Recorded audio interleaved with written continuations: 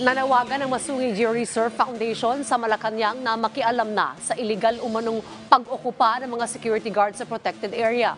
Magunitang pinasok ng 30 gwardya ng Sinagtala Security Agency ang Masungi Geo-Reserve na matatagpuan sa Baras Rizal. Iginiit ni Billy Dumaling, trustee ng Masungi Geo-Reserve Foundation, bahagi ng protected at reforested area ang naturang lugar. Sa pag-inspeksyon naman ng Philippine National Police, pagbumutahin lang nila ang mga security personnel na pumasok sa area. Paglilinaw naman ni Brigadier General Leomar Abugan, hepe ng PNP Supervisory Office for Security and Investigation Agencies, wala namang nagawang krimen sa isinagawa nilang inspeksyon kaya wala silang inaresto. Iginit naman ni Dumaling na ang presensya ng mga gwardiya sa lugar ay paglabag sa Expanded National Integrated Protected Areas System Act of 2018.